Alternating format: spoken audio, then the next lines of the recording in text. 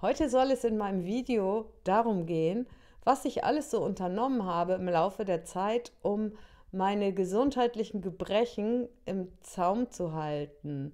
Und ich kann natürlich nicht über alles berichten, das wäre ein mehrere Stunden Projekt, aber ich will mal bei ein paar wichtigen und für mich entscheidenden Veränderungen beginnen. Da war einmal meine grundsätzlich immer mitschwingende Grundangsthaltung. Das heißt, ich habe in Themen, in denen man eigentlich gar keine Angst haben müsste, innerlich auch keine Angst verspürt, sondern habe mit der Motivation der Angst gehandelt und Entscheidungen getroffen. Das sind manchmal so ganz banale Entscheidungen gewesen und das geht, dann ging es darum, ob ich einen Weg so oder so fahre oder ob ich dieses oder jene Fahrzeug nehme. Das ist natürlich nicht lebensentscheidend. Jedoch habe ich festgestellt, als ich ein bestimmtes Mittel genommen habe, das ich mir mikromäßig verdünnt habe, das kommt dazu, das ist ganz wichtig, die Information. Und zwar heißt das Mittel Iboga und das ist eine Wurzelrinde, die stammt aus Afrika und der werden ziemlich magische Kräfte zugeschrieben. Die magischen Kräfte, die lassen wir mal auf der Seite, denn es geht hier um den minimalsten äh, Konsum. Das heißt, es geht um Nanodosing, nenne ich das sogar. Bislang gibt es im Internet nur den Hinweis auf Microdosing. Und Microdosing finde ich noch viel zu viel. Ich bin tatsächlich in dem Gebiet des Nanodosing gelandet. Und das heißt, wenn die äh, von 10 Milligramm äh, Dosis sprechen, was ja schon sehr, sehr wenig ist, dann bin ich nochmal unter dem 1 Milligramm Bereich und habe mir dieses Mittel oder diese Wurzelrinde, das ist dann ein Pulver, das man sich einfach online bestellen kann und das ähm, man natürlich nicht einnehmen soll, sondern man soll das nur räuchern. Also nebenbei, äh, ich spreche für mich und von daher ist alle meine Information, ist nur mein Erfahrungsbericht über mein eigenes Leben. Was du daraus machst, ist, liegt in deiner Verantwortung. Du solltest immer verantwortungsvoll mit dem umgehen, was du für deinen Körper unternimmst. Also von daher sage ich mal, in diesem Nanodosing-Bereich von Iboga habe ich dann sehr, sehr äh, krasse Erlebnisse gehabt. Und zwar deshalb krass, weil ich eben dieses Konstrukt von gefühlter Angst irgendwann schwinden sah. Das passierte nicht gleich, das dauerte schon ein paar Wochen. Aber dann war es so und ab da ist es auch so. Das ist auch so, dass scheinbar die Angst dann nicht wieder zurückkehrt oder sich nicht wieder so heftig aufbaut, und es geht einfach um so eine Grundschwingung von Angst, die eben bei mir immer mitgespielt hat und die sich wirklich nachhaltig verändert hat. Also das fand ich sehr, sehr spannend. Und ich weise nochmal darauf hin, es geht um einen Minimalsdosis, also wirklich, deshalb sage ich Nanodosis Bereich, weil ähm, alles andere, was über eine ähm, geringe Dosis hinausgeht, halte ich für sehr ungünstig und sehr gefährlich und ich würde äh, es selber nie ausprobieren, würde dir auch nicht dazu raten. Und jetzt rate ich dir auch überhaupt nicht dazu, das Zeug überhaupt zu nehmen. Es ist einfach nur ein Erfahrungsbericht. Ja, wenn es um Erfahrungsberichte geht, dann habe ich noch ein Mittel ausgetestet, das mir schon immer mal empfohlen wurde und von dem ich aber immer Abstand genommen habe. Es ist ja so, in meinem Leben, in deinem vielleicht auch, dass es für alles seine Zeit gibt und die Zeit war einfach noch nicht gekommen. Nun bin ich neulich in Kontakt gekommen mit jemandem, der sehr, sehr stark von Parasiten befallen war. Und da ging es darum, was kann man antiparasitär überhaupt alles unternehmen. Und dann kam auch irgendwann wieder dieses CDL, also was ausgeschrieben Chlordioxid Lösung heißt. Äh, das kam dann wieder ins Spiel.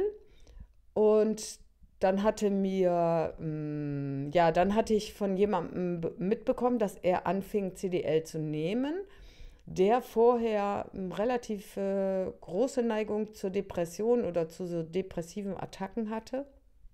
Und ich habe einfach in seinem, äh, in seiner Art zu sein, also in der Wahrnehmung, die ich über ihn hatte, die Beobachtung, die ich gemacht habe, als ich dann äh, ihn das nächste Mal getroffen habe, festgestellt oder hat sich tatsächlich was verändert? So, und das hat mich letztendlich dazu bewogen, mich mal diesem Mittelchen zuzuwenden und eben den Konsum einfach selber mal auszuprobieren. Im Hintergrund habe ich ja immer jemanden, der nachgucken kann, wie was wirkt und ob die Dosis in Ordnung ist, angemessen ist. Das ist natürlich mein persönlicher Riesenvorteil, dass ich da wirklich äh, mich rückversichern kann und einfach auch dann weiß, ob das, was ich mache, irgendwie einen heftigen Schaden bei mir anrichtet. Insofern kann ich dich hierzu nichts ermuntern, denn diese Sicherheitsstufe hast du für dich einfach nicht. Den kann ich auch nicht mit dir teilen, von daher äh, ist das eine Sache, die bei mir persönlich ein riesengroßer Vorteil ist. Ja, und dann habe ich eben das CDL genommen und habe auch noch mir ja, mit dem CDL äh, quasi die Dosis gesteigert. Am Anfang ganz, ganz wenig genommen, also irgendwie so drei Tropfen am Tag und dann irgendwie ein bisschen gesteigert und stelle fest, es fühlt sich gut an.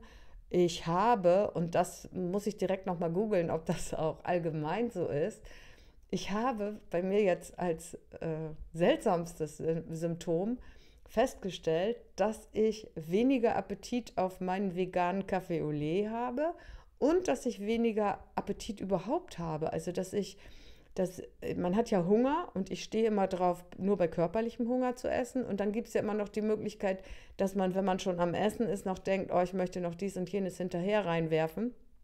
Und das habe ich schon ziemlich gut im Griff gehabt.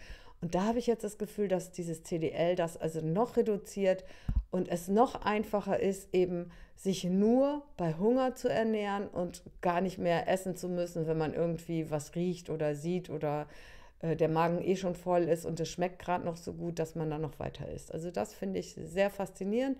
Auch so eine, das hat so ein äh, Gefühl bei mir ausgelöst, als würde so ein Riegel davor gesetzt. Das habe ich schon mal übers Klopfen bei mir initiiert, aber das, was da im Moment stattfindet, ist irgendwie intensiver. Ja, von daher bin ich jetzt mit diesen beiden Stoffen erstmal mit meiner Botschaft für heute am Ende und möchte dir sagen, du darfst das nur probieren, wenn du auf eigene Verantwortung handeln kannst, wenn du die Verantwortung für dich und deine Gesundheit übernehmen kannst, so wie ich das für mich mache. Und von daher ja, soll das einfach nur mal ein persönlicher Bericht sein, ein Erfahrungsbericht über das, was ich so festgestellt habe. Dem CDL wird sonst noch zugeschrieben, dass man äh, wacher ist und sich besser konzentrieren kann und die Zellen besser durchblutet werden und natürlich auch irgendwann Wehwehchen, die man vorher hatte, äh, sich verabschieden können. Das hat eventuell auch was damit zu tun, dass die parasitäre Lage, Lage sich verändert und dass weniger Parasiten die Möglichkeit haben zu überleben. Ich unternehme gegen meine vermeintlichen Parasiten, also ich habe welche, aber die sind wohl äh, relativ in normaler Anzahl vorhanden. Ich möchte sie trotzdem gerne reduzieren und dagegen unternehme ich noch weitere Dinge, nämlich einen Tee habe ich mir zurecht gemixt und den trinke ich sehr gerne mittlerweile. Und dann habe ich etwas entdeckt und das möchte ich dir, bevor ich dieses Video beende, auch noch kurz mitteilen. Das ist für mich die Entdeckung überhaupt. Ich habe nämlich Kürbiskerne als Kürbiskernmus hergestellt. Die kann man allerdings auch kaufen. Also ich habe jetzt im Internet schon gesehen, man kann auch fertiges, reines Kürbiskernmus kaufen das würde ich dir sogar empfehlen, weil die Herstellung ist eigentlich ziemlich zeitintensiv. Und wenn man nicht die entsprechenden Geräte hat und die Zeit hat, das herzustellen, dann scheitert man, glaube ich, ziemlich schnell. Also Kürbiskernmus esse ich mehrmals täglich und das hat einen äh, durchschlagenden Effekt im wahrsten Sinne des Wortes. Und das habe ich dann im Endeffekt auch so nachgelesen und gefunden, dass aus dem Wirkstoff des Kürbiskerns ein Antiparasitenmittel tatsächlich auch hergestellt wird, was wohl sehr gut wirkt. Also da bin ich komplett begeistert. Das hätte ich niemals gedacht. Und ich bin davon überzeugt, ich kann es allerdings dir nicht äh, faktisch darstellen, Also ich habe dazu jetzt auch keine weitere Information, aber ich bin davon überzeugt, dass Kürbiskerne und Kürbiskern, beziehungsweise nur das Kürbiskernmus, also die Kürbiskerne alleine richten das auch noch nicht an, dass die diesen Effekt haben, weder wenn du Kürbiskerne so isst, noch wenn du Kürbisöl äh, zu dir nimmst, hast du diesen Effekt.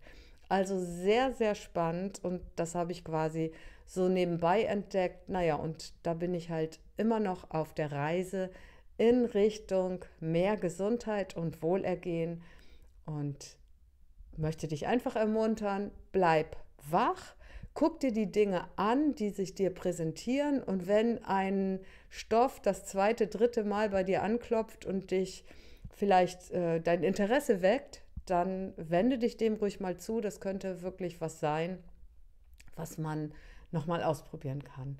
Also, das war's für heute. Ich wünsche dir alles Liebe und wenn du diesen Kanal noch nicht abonniert hast, mach das gerne und hinterlass mir auch gerne einen Like-Daumen, wenn dir dieses Video gefallen hat.